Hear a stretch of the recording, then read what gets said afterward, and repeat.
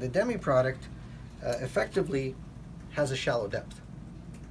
And what that means really is if you have a fence with a bottom rail that's real tight, this will just cover the front face and the, and the sides along the, the bottom. So you don't have to worry about it. It's also real handy for corners.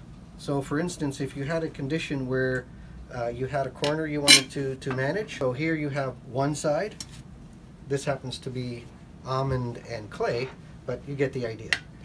We can now put this one on this side, and now you've got a 90 degree corner. So in fact, you can have two-sided, or you can even have three-sided protection. We're the only ones in the market that allow you to have that kind of versatility. Not only different colors, but how many sides you want to protect based on the condition you've got.